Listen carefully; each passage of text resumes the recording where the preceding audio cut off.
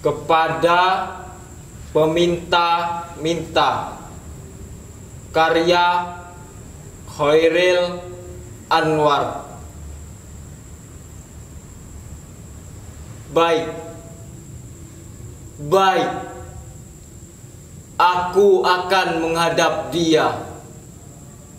Menyerahkan diri dan segala dosa Tapi jangan tentang lagi aku.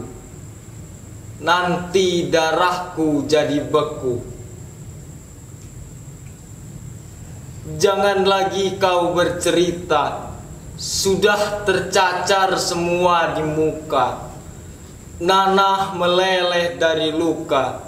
Sambil berjalan kau usap juga.